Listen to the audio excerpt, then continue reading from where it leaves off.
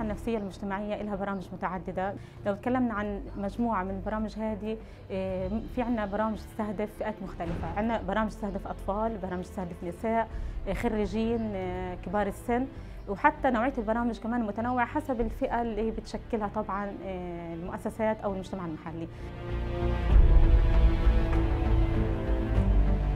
في عندنا برنامجين بيستهدفوا الأطفال سواء كان في داخل مراكزنا أو من خلال هو مراكز المجتمع المحلي. وبتكلم مراكز مجتمع محلي مش بس خان يونس بتكلم عن خمس آه، مراكز للصحه النفسية. اثنين رئيسيين اللي هم في خان يونس وفي غزة وثلاث فروع في المناطق اللي هو رفح والوسطى والشمال.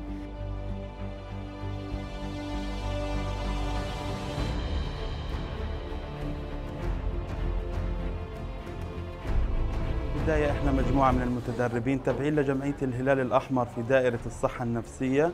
آه، خضنا عدة لقاءات آه، في البرنامج هذا بيحمل كثير من من العناوين من ضمنها الإسعاف النفسي الأولي ومن ضمنها إدارة الإجهاد والحماية وقت الطوارئ. عندنا برنامج الكبك، البرنامج الكبك اللي هو بيستهدف الأطفال المهمشين في المناطق ذات النزاع المسلح، يعني نتكلم عن المناطق الحدودية، وليش تكلمنا ليش سميناه كبك؟ لأنه هو بس بيخضع للأطفال اللي هم الخامس والسادس وبيركز أكثر على المناطق ذات النزاع المسلح. إحنا طبعا استفدنا من مشروع التدريب تبع الخريجين وقت الأزمات والطوارئ انه إحنا كيف نتعامل مع حالات أثناء الحدث وبعد الحدث، التدخلات الأولية إنه إحنا كيف وقت الحدث أثناء الأزمة كيف نتعامل مع الفئات المستهدفة من الناس آه، النازحين آه، وبعد الحدث إنه إحنا بعد ما تخلص مثلا الأزمة والحرب كيف نقدم أنشطة دعم نفسي عشان نطلع الناس من الصدمة اللي تعرضوا لها طبعا.